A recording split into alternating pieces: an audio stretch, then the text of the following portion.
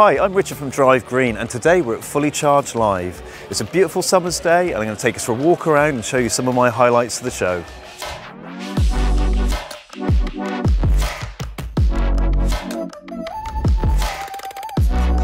Well, here we are on the Nissan stand where they're exhibiting the Ariya for the very, very first time. Obviously, the Nissan Leaf has been a giant within the marketplace right from the very beginning.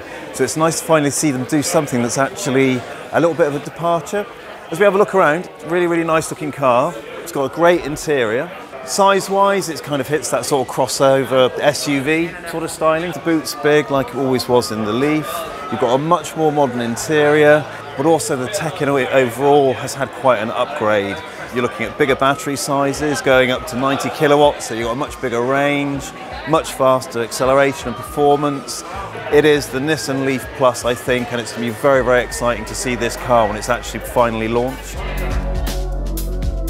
This is a really important section, really good to see. It's a whole commercial electric van section. It shows me the commitment these manufacturers are making towards moving delivery vehicles across to electric. Uh, you've got DPD, who've obviously made a, a, major commitment to move all their vehicles over to electric very, very soon. And you've also got vans from the likes of Ford and Fiat and Mercedes, all here on show. So all this focus here on electric vans just goes to show we're on the right path in all sectors of transport. Obviously delivery driving, very important, local routes, perfect for electric vans, and it's great to see the show of force from the manufacturers as well as from the companies in terms of adopting them. I worked for Corgi, which is the gas safety watchdog. It's not necessarily the most glamorous thing, and I went to work there in 2003. And the boiler is not the most interesting piece of kit ever, so I quite quickly gravitated towards heat pumps and, and solar thermal and things like that. And, and then I, I, left there actually and set up my own business, which was called the Renewables Roadshow. Robert Llewellyn, who, who started Fully Charged, has been doing this for 11 years now. And you could see from our event today, there's a you know, huge amount of people have been here today and over the weekend really passionate about these technologies and quite often come up to me and say I've got my heat pump, I've got my electric car, I've got a smart thermostat, I've switched energy supplier so some really keen beans and then there's other people who are just starting their journey who have a lot of questions.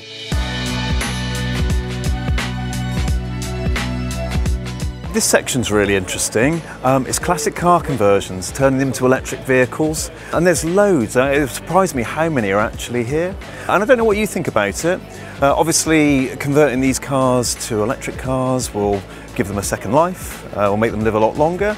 But somehow these are classic cars, so in a way maybe it's taken away some of their original essence, some of the kind of the elegance in their manufacturing and engineering, taking those engines away. So yeah, I don't know what you think. Personally, I think it's great. These cars all look fantastic, and the fact they can now live on as an electric car uh, and be even more enjoyable to drive and even more practical on a daily basis, I think is brilliant.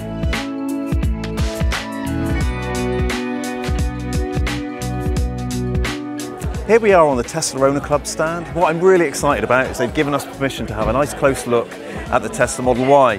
First time I've seen this car in person, uh, and it's like I'd expect. We know it's going to be a very important high selling EV. So I think where this car is going to be particularly successful is now moving closer over into the sort of family market. It's very much a Model 3 in size, you've got the same controls, the same design, the same lovely big media console, just the seating position's a little bit higher in a kind of a almost crossover SUV fashion, which I know a lot of people will like. Still on the Tesla Owner Club stand, something else has really caught my eye and it's this Model S. I've always been a fan of the Model S and it's always amazed me how such a, a, supreme luxury car, it looks so good customized, but this car is stunning. It's absolutely outrageous. Very, very white. You've got these lovely cushions in there, the detailing on the alloys. I think it looks quite spectacular. I have had a Tesla Model 3 for two years now.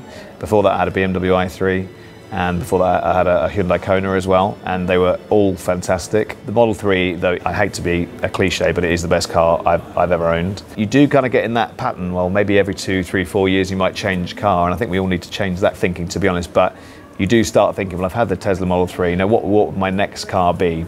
And I'm really loath to let the Model 3 go, but there's some brilliant cars now. There's a, such a great choice. But if I had to, it's a personal choice, of course. I'm not being paid to say this. The one I'm really interested in is the Kia EV6. I think that's a great, great looking car. Here we are at the Kia stand.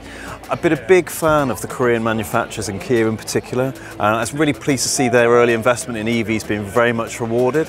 Now the EV6 is a fantastic looking car. I really, really like this. Um, it's a, Model 3 competitor for sure in terms of size, 300 miles plus range, really great looks. I'd go as far as to say actually I think it's a better looking car than the Ioniq 5. So not only does this car look stunning from the outside, this is a stunning looking interior.